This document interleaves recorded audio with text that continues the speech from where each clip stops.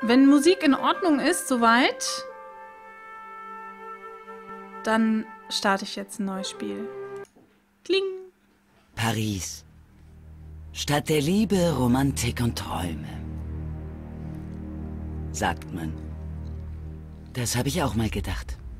Aber seit jenem Tag, dem Tag des Mordes, denke ich bei meinem geliebten Paris auch immer an den Tod.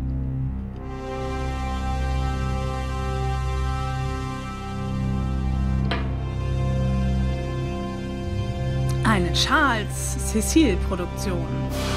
Baphomets Fluch und The Director's Cut. Warum schreiben die dann The Director's Cut drunter, wenn sie es schon auf Deutsch äh, oben schreiben? Das frage ich mich immer. Und ja, wir sind im Comic-Stil. Pixelart und Comic-Stil. Gemischt. Und ich glaube, die Synchronstimme, die wir jetzt gerade gehört haben, die von Nicole Collard kommt, die hier über mir zu sehen ist auch. Allerdings ist das die Nicole Collard in Teil 5 und wir sehen gleich Nicole Collard aus dem, ähm, aus dem ersten Teil. Im Director's Cut ist schon ein bisschen nachbearbeitet worden bei den Grafiken, insbesondere bei den ich liege Dialogen. also zu Hause gerade in der Badewanne, als mein Verleger anruft. Collard, schwing deinen Hintern rüber zum Palais Royal. Sofort. Du musst jemanden interviewen. Und zwar Pierre Cachon. Ja genau, den Pierre Cachon. Keine Fotos, also lass deine Knipse zu Hause. Er hat selbst nach dir verlangt, ausdrücklich. Frag mich nicht warum. Egal, könnte eine große Sache sein. Also, wenn er dich anbaggert, nicht vergessen. Immer lächeln, Ja sagen und weiter mitschreiben. Wie charmant und überaus zutreffend. Pierre Coole Cachon ist ein. Medienkönig, ein Nationalheld und einer der berüchtigsten Ehebrecher in ganz Europa. Er und seine Frau Imelda sind nur einen Hauch von der Königswürde entfernt. Hey, ich hasse Pantomimen. Aber wenn man nicht auf sie eingeht, hauen sie nie ab. Ah, der sieht schon so Da böse bin aus. ich also. Der Palast des Medienkönigs und der Eiskönigin. Ich, Ich hasse und setze Clowns. damit eine Kette von Ereignissen in Gang, die mein Leben von Grund auf ändert. Ja, was gibt es? Madame, mein Name ist Nico Collard. Ich bin verabredet mit Monsieur Cachon. Kommen Sie rauf, wir sind im ersten Herzlich Stock. willkommen. Madame Cachon, ich freue mich, Sie kennenzulernen. Ja, natürlich. Die Eiskönigin wird ihrem Ruf auf jeden Fall gerecht. Ja. Finde das ganz witzig, dass die ähm, in dem Director's Cut die Werden Sie beim Interview dabei sein? Mademoiselle, ich weiß nur wenig über die Geschäfte meines Mannes. Und es interessiert mich noch weniger. Ich habe definitiv kein Verlangen zuzusehen, wie er noch eine hübsche kleine Journalistin begrapscht. Hübsch? Das ist zu freundlich von Ihnen, Madame. Oh oh. Die begabte und ausgesprochen schöne Mademoiselle Collard. Ich freue mich, Sie endlich kennenzulernen. Monsieur Cachon, es ist mir eine Ehre. Oh ja, das glaube ich gerne. Nennen Sie mich doch Pierre. Bitte. Das war keine Schmeichelei gerade. Ich war ein Freund Ihres Vaters. Er war ein großer Mann. Mein Vater? Aber er hat nie erwähnt. Wir standen uns sehr nah. Und dann sein Tod. So tragisch. Ich muss... Imelda, deine verdammte Katze ist schon wieder in meinem Büro. Ach, eine Ming-Vase zum Teufel nehme ich an. Entschuldigen Sie mich für einen Moment, meine Liebste. Ihr Journalistinnen werdet auch jedes Jahr jünger. Vielleicht wird nur der Rest der Welt immer älter, Madame. Das war aber keine Katze. Ich sagte Mein doch, ich Gott. hasse Clowns. Was? Monsieur Cachon. Oh! Oh, das hat aber geklatscht. Er ist tot. Ich muss die Polizei rufen. Sie sollten lieber hier bleiben. Da war ein Mann. Es war dieser Pantomime. Glauben Sie, er... Naja, ich schätze, Selbstmord können wir mal ausschließen, oder? Sie ist aber sarkastisch. Kein Wunder, dass man sie die Eiskönigin nennt. Sie wäre sofort die Nummer eins auf meiner Verdächtigenliste. Wenn ich den Angreifer nicht selbst gesehen hätte. Und wenn mir nicht schon früher ein paar genau solcher Morde untergekommen wären. Einer der wichtigsten Männer Europas ermordet. Und hier stehe ich, Nico Collard, alleine am Tatort. Soll ich auf die Polizei warten oder den Fall selbst untersuchen? Gute Idee. Die Antwort ist wohl klar. Sonst wären wir nicht hier. So, und da ist unser wunderbares Inventar hier unten. Zieh den Mauszeiger über den Bildschirm, um interessante Stellen zu finden, sogenannte Hotspots, erkennbar an einem blauen Kreis. Wenn du den Mauszeiger über einen Gegenstand bewegst, mit dem du etwas tun kannst, erscheinen die Symbole dieser Handlung, die du hier vornehmen kannst. Drücke die linke Maustaste, um die Handlung zu bestätigen. Klicke auf die Aktentasche, um dein Gepäck zu öffnen und die Gegenstände zu betrachten, die du dabei hast. Das Tagebuchsymbol öffnet das Tagebuch, mit dem Fragezeichen bekommst du Tipps zu Rätseln und Hilfe zur Steuerung und der Schraubenschlüssel führt zum Speichern und Laden von Spielständen zu den Einstellungen. All diese Symbole findest du unten auf dem Bildschirm. Aha, nee, ist doch nicht wahr. Ja, das mit, den, das mit den rauchenden Stimmen ist mir auch aufgefallen. Allerdings liebe ich ihre Rauch, rauchende Stimme, denn ähm, das ist die Synchronsprecherin von der Dana Scully aus Akte X. Und meine Herren, habe ich diese Serie gesuchtet, als ich Teenager war. so lange ist das schon her, dass ich Teenager war. Gut, okay. Ich habe das übrigens mal, als es total günstig war, mir fürs iPad gekauft. Und ich sag euch, das mit den Finger hier, alles zu finden, das war echt ein Drama. Wirklich ätzend. Okay, wir wissen, es ist jemand durch die Scheibe gekommen. Ich guck da mal direkt. Der Mörder ist wieder der Gärtner. Du spoilerst doch schon wieder Drehwerk.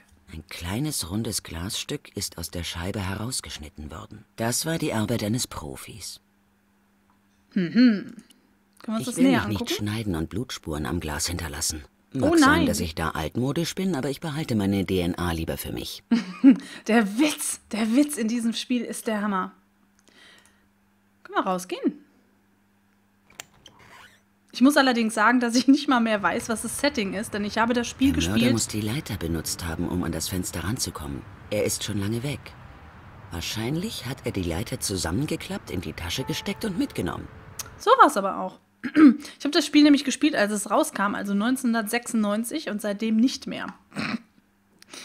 Was haben wir denn da? Die Eine Mordwaffe? Büste von Pierre Carchon, dem bescheidenen Diener der Grande Nation. Okay, dann kommen wir mal zu ihm. Pantomimen und Schusswaffen passen normalerweise nicht zusammen. Aber irgendetwas sagt mir, dass dies kein normaler Pantomime ist. Ich habe diesen Mörder schon mal gesehen. Und sogar über ihn geschrieben. Der Kostümmörder. Zumindest habe ich ihn so genannt. Das ist doch gut, wenn man äh, den, den Mördern so seinen eigenen Stempel aufdrücken kann. Das war ja bei Jack the Ripper auch so. nee, da gab es keine iPads. Ich habe auch nicht ähm, dieses hier auf dem iPad gespielt. Ich habe ähm, jetzt das aktuellste ähm, Baphomets Fluch 5 auf dem iPad gespielt. Ah, und noch was.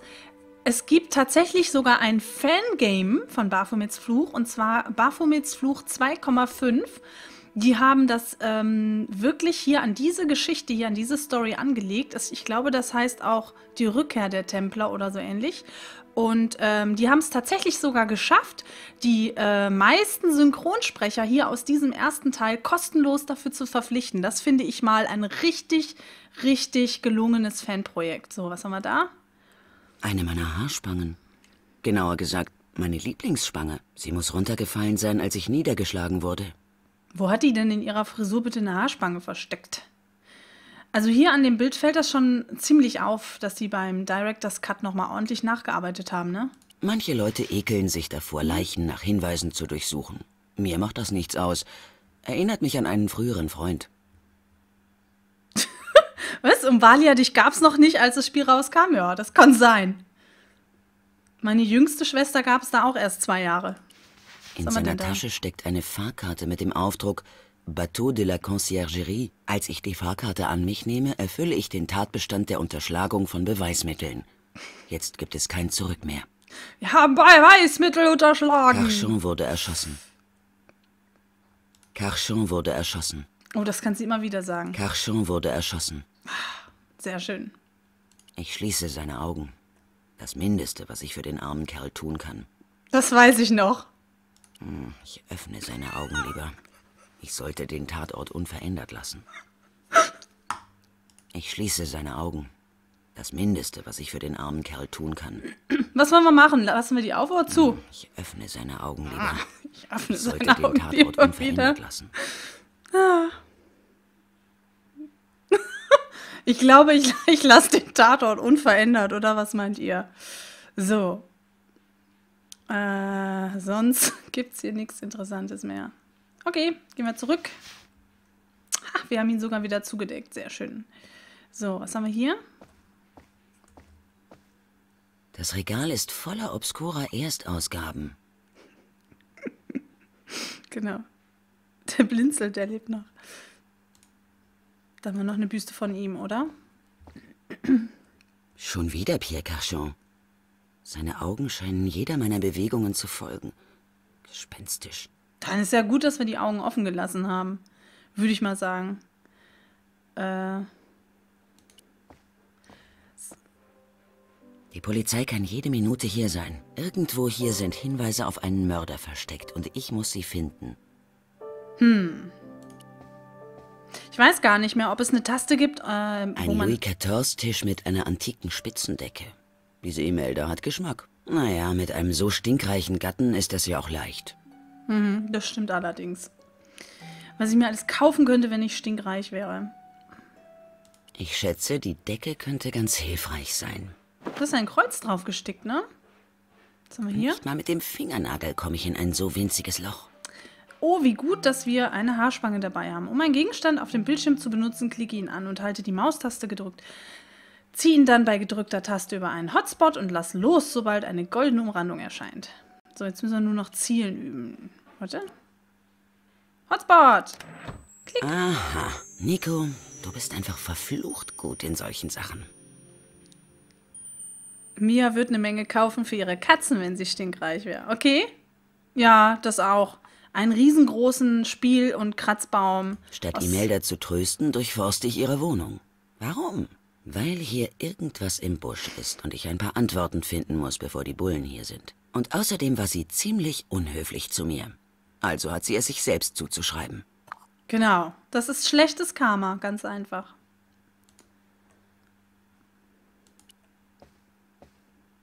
So ein Imelda Kratzbaum aus Naturstein. aber das werde ich ihr bestimmt nicht sagen. Das wäre cool. Ein Katzenzimmer, okay. Gut, ich muss erst ein Kinderzimmer dann einräumen. Eine Tube Acrylfarbe im Farbton Französisch Ultramarin. Genau die Farbe, die ich für mein Badezimmer suche. Es tut mir leid, ich muss gehen. Jemand ist. Junge Dame, was genau tun Sie da eigentlich? Ähm, diese Farbe, das ist meine Lieblingsfarbe. Meine Güte, dann behalten Sie das. Zeug von mir aus. Sie braucht es noch. Sie weiß nur nicht wofür. Aber wir können ja mal mit ihr sprechen. Vielleicht taut sie ja jetzt auf. Verzeihen Sie, Madame. Ja? Ah, okay. Wir können jetzt mit ihr über diese Themen hier oben reden und wir können auch mit ihr über die Dinge reden, die wir im Inventar haben. Zum Beispiel können wir ihr unsere Haarspange zeigen. Möchten Sie vielleicht mal meine Lieblingshaarklammer sehen? Was für eine alberne Frage. Natürlich nicht. Naja, dann vielleicht ein anderes Mal. So, was haben wir denn noch? Das Spitzendeck. Ja, eigentlich will ich ihr die Sachen nicht zeigen. Hinterher sagt die, ich soll es zurücklegen und dabei brauche ich es vielleicht noch. Ha? Dann rede ich erstmal über ihren Mann. Es tut mir leid wegen Ihres Verlustes, Madame. Nein, tut es nicht. Sie sind Journalistin. Journalisten tut nie etwas leid. Das stimmt nicht. Wir werden ja sehen. Woher kannte Ihr Mann meinen Vater? Ich habe nicht die leiseste Ahnung. Sie kannten ihn nicht? Thierry Collard? Pierre kannte eine Menge Leute, von denen ich nie gehört habe. Vor allem natürlich Frauen. Okay, ihr Verhältnis zu ihrem Mann war jetzt nicht das allerbeste. Warum kann ich sie nochmal nach ihrem Mann fragen? Warum wollte Ihr Mann mich sehen? Was wollte er mit Ach mir so. besprechen? Ich habe keine Ahnung. Seine Geschäfte waren seine Sache. Hat er Ihnen nie etwas erzählt? Nein. Und offen gesagt war es mir auch lieber so. Warum sollte ein Pantomime Ihren Mann umbringen? Pierre hatte viele Feinde. Allen voran schon mal die Hälfte aller Pariser Ehemänner. Das ist ein ziemlicher Coup für Sie, was? Ich nehme an, Sie formulieren im Geiste schon die Schlagzeile. Hören Sie, nur weil ich Journalistin bin. Erzählen Sie mir doch nichts. Ihr seid doch alle aus dem gleichen Holz geschnitzt. Haben Sie überhaupt sowas wie ein Gewissen? Oh, haben wir ein Gewissen? Also eigentlich schon, oder?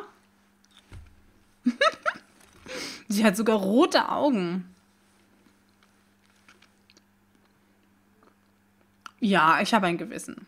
Ja, darum mache ich ja diesen Job. Quatsch. Sie wollen doch nur Ihren Namen auf der Titelseite sehen. Schön wär's.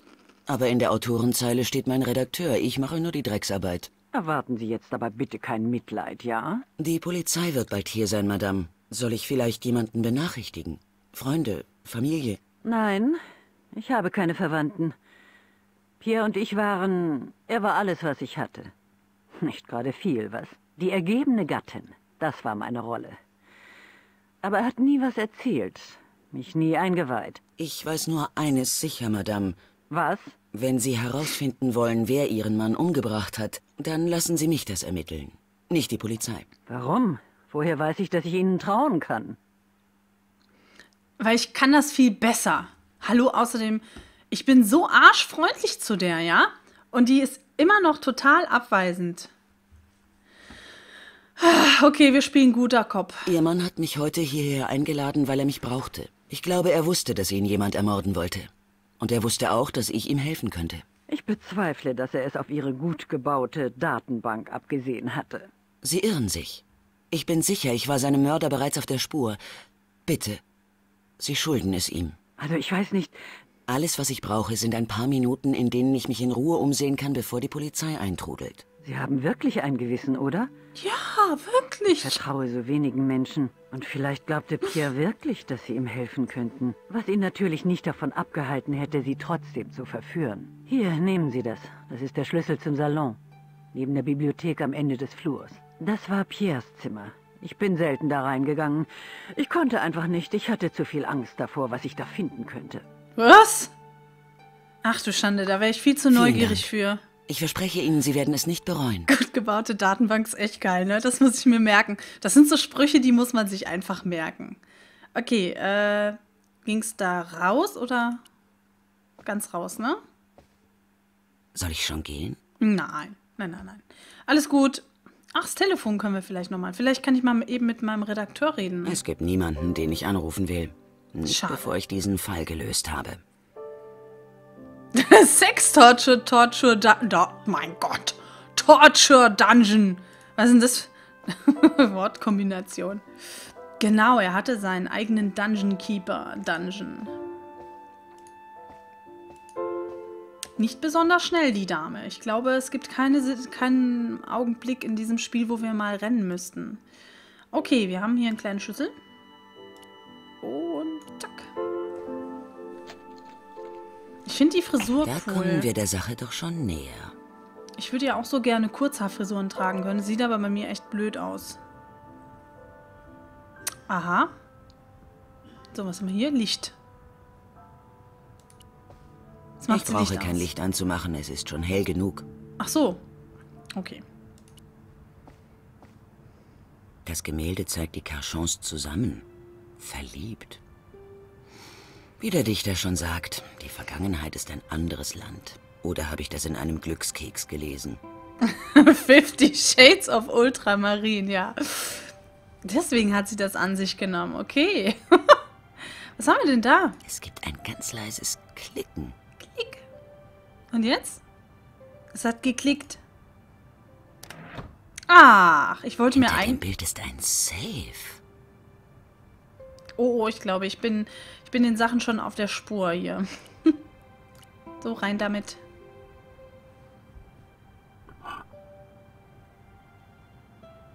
Was ist das? Im Safe liegt eine Art Artefakt. Seine Oberfläche ist mit Symbolen bedeckt. Sieht aus wie die Druckwalzen, die ich im Kunstunterricht hergestellt habe. Wenn ich irgendwas über Symbole gelernt habe, dann das. Sie sind immer wichtig. Aber diese in den Stein geritzten Symbole sind unmöglich zu entziffern. Ich muss sie irgendwie ausdrucken. Zumindest ist der Stein rund. Aber was könnte ich als Druckerschwärze verwenden? Und worauf kann ich drucken? Klar, das nennt man Klauen. Aber ich weiß, dass Imelda keine Ahnung von dem Artefakt hat. Sie Und hat Cachan ist es so inzwischen egal. Sie hat richtig Skrupel. Ist ja nett. Das finde ich macht sie sehr sympathisch. Man kauft ihr die, die äh, gewissenhafte Journalistin tatsächlich ab. Eigentlich wollte ich mir nochmal das Bild hier mit den Cachons angucken. Und du hast natürlich recht, dass die äh, sehr romantisch da mit den Knarren und den Jagdhunden stehen. Schimmelbaguette. Ja, sieht ein bisschen so aus. Diesmal ohne Bälle zählen. Wie angenehm. Ja, ne? Ich muss auch sagen, ich finde es gerade sehr angenehm.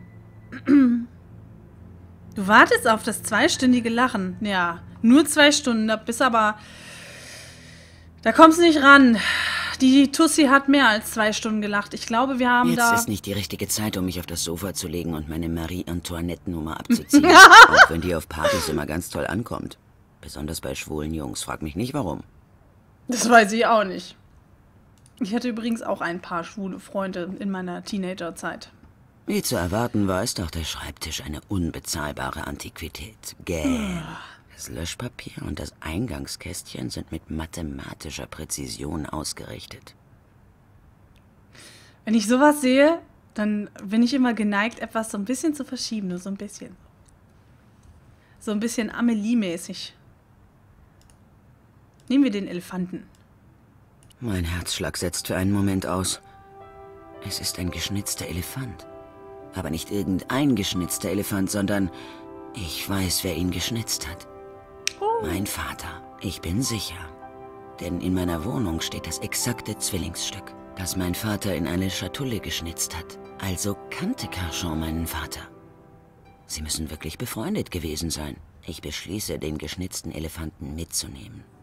Ganz offensichtlich bedeutet er Imelda nichts. Genau, die hat ja auch was ganz anderes hier erwartet. Okay. Können wir jetzt einfach alles nehmen? Ich brauche kein Blatt Löschpapier.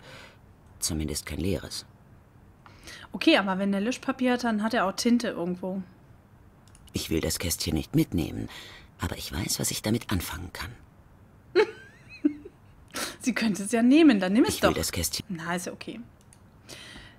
Dann darf es da halt stehen bleiben. Okay, was haben wir denn sonst noch hier? Noch ein Zimmer.